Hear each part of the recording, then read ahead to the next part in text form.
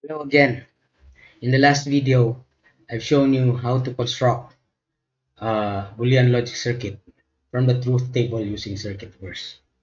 In this video, I'm going to use show you a special tool called combinational analysis in Circuitverse that will automatically draw the circuit for us given the truth table.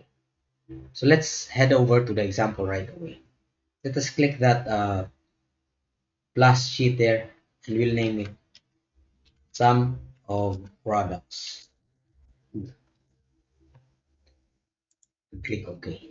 And then let's copy the truth table. Let's copy this, put it here. So that we will have to, we can get the value of the truth table. Now previously, what we did was create a table create a circuit by going through the individual rows one by one. This time, I'm, we're going to use a tool. We head over to Tools and click Combinational Analysis. In this tool, we are asked to input the names of the, in, the, the input and separate them with commas. So in uh, our case, our input is A, B, and C. And the output names, in this case, we only have one. We'll name it 1. Okay. And we click Next. Now we are given a truth table. So we're just going to fill this up. So we have three ones. Double two clicks will make a one. One click will make a zero. We'll have uh, three ones. We'll have followed by three zeros, followed by a one. So we took two clicks and followed by zero. So now we have the truth table. Unfortunately, we don't have a import export here. So we just generate the circuit.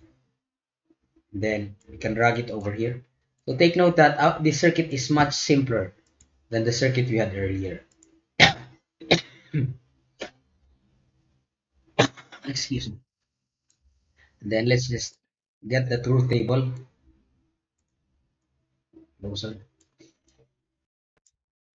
So we can test. Now there's an extra element created by Circuitverse, extra input. We can just delete this. It placed there so that you can still edit the circuit. You can give you can just drag it.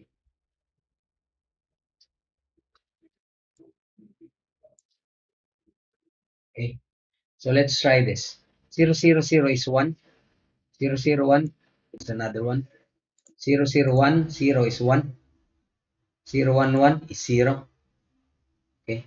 And 1 0 0 is 0 1 0 1 is 0 110 is 1 and 111 is 0 which is perfectly the same. Before I forget let us save this. Export this as sample CV is now V4 so this is a very useful facility in Circuitverse where you input the table it will create the circuit for you. And aside from that simplify it before creating the circuit. Thanks for watching. In the next video, I'm going to show you how to create the product of sums. Thanks for watching and see you then.